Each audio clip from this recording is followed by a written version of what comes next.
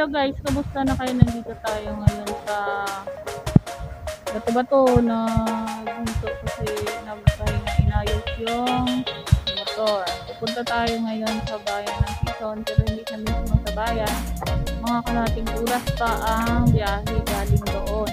So, mag-birthday, magpapa-birthday tayo ng aming lola doon. So, surpriseahin namin siya kasi kala niya bukas pa kami na madaling araw pero ngayon kami mag-biyahe. So, bago yan, kung bago pa lang kayo sa aking channel at hindi pa kayo nakapag-subscribe, mag-subscribe na kayo at i-click nyo ang notification bell para i-share sa aking mga latest video. So, mamaya pagsabayan na tayo ng Quezon, ipapakita ko sa inyo ang bayan ng Quezon.